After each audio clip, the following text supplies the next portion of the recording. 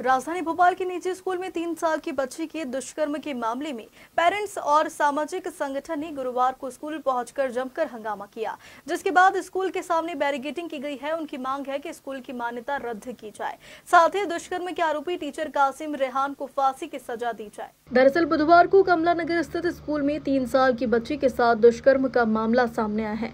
आरोपी स्कूल का टीचर है। पुलिस ने आरोपी को गिरफ़्तार कर जेल भेज दिया है, लेकिन इस घटना से आक्रोशित सामाजिक सामाजिक संगठन और परिजनों ने स्कूल के सामने जमकर नारेबाजी की है, जहाँ संस्कृति, बचाव मंच और एबीवीपी के कार्यकर्ता स्कूल की मान्यता रद्द करने की मांग को लेकर धरने पर बैठे हैं।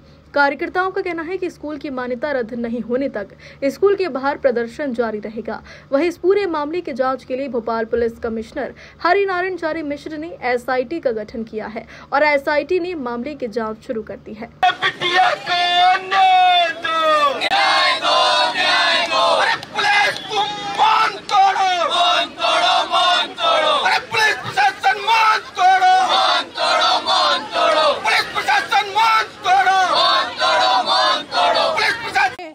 सर, उसको फांसी की सजा देनी चाहिए। हम, मुझे प्रशासन से एक ही रिक्वेस्ट है, भोपाल में जितने भी स्कूल है, सब में फीमेल टीचर होना चाहिए। और हम, हमारी बच्ची की हमको टीसी चाहिए इस स्कूल से, जो हमने बुक्स में पैसे खर्च कर चार हज़ार रुपए, वो चाहिए। और सर, हमारी जितनी साल भर की फ़ीस है, हमको वो वापस चाहिए। स्कूल तो ये बंदी ताला लगना चाहिए यहाँ पे। मेरा नाम मुस्कान छेत्री सर। इस स्कूल में 100 में से 90 प्रतिशत पुलिस वालों के बच्चे पढ़ते हैं, जो दूसरे को सुरक्षा कर रहे हैं, उनके बच्चे सेफ़ नहीं है। के साथ घटना हुई है। दुष्कर्म का मामला है। हम ये चाहते हैं स्कूल की मान्यता बंद, मान्यता रद्द की जाए और स्कूल में ताला लगा जाए और हमारे बच्चों को दूसरे स्कूल में एडमिशन मिला जाए। कासिम रेहान की गिरफ्तारी करके उसको तत्काल जेल भेज दिया गया। क्या जेल की रोटी खिलाने के लिए यह कार्य किया गया? उसके खिलाफ सख्त से सख्त कार्रवाई होनी चाहिए थी।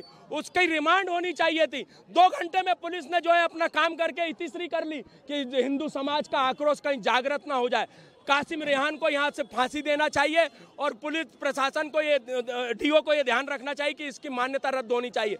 क्योंकि इसका पूर्व प्रिंसिपल भी बलात्कारी था और जिसने उसे पकड़ा था, उसे जो है, स्कूल से निकाल दिया गया। संस्कृति बचाओ मंच ये मांग करता है, हिंदू समाज ये मांग करता है कि उसके, उसको फांसी की सजा होनी चाहिए।